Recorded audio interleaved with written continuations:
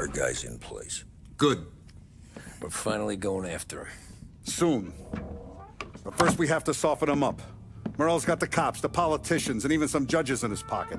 We can't afford to bite them all off, so we need to scare them into abandoning Morello's sinking ship. We bump off the right idiot, the rest are going to realize sticking with Morello ain't too good for their health. First in line for the pine box is this asshole, Galati. The counselor's still seeing red over his dead kid, so he's never going to turn on Morello. Christ. That guy's been giving us fits since 32.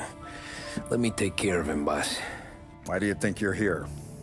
Then he's got it all figured out. The counselor is celebrating his birthday with a big shindig on a steamboat. He's pulling out all the stops, booze, broads, fireworks. He's even giving a speech to the press. What kind of security? Just did normal detail, a few guys with Roscoe's.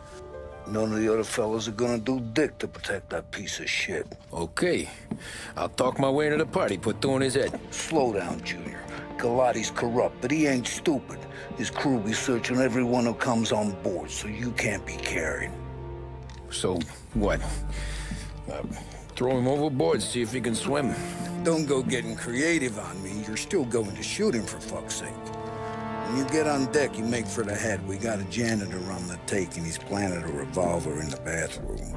And then you just cool your heels. Mingle. Try not to look like a hatchet man until Galati makes his appearance.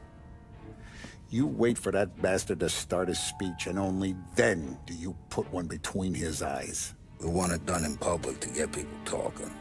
Sure. But you got a plan for getting back to shore? Sam and Paulie are down the docks working on that. You meet up with them there, and they'll fill you in on the rest of the details. Okay.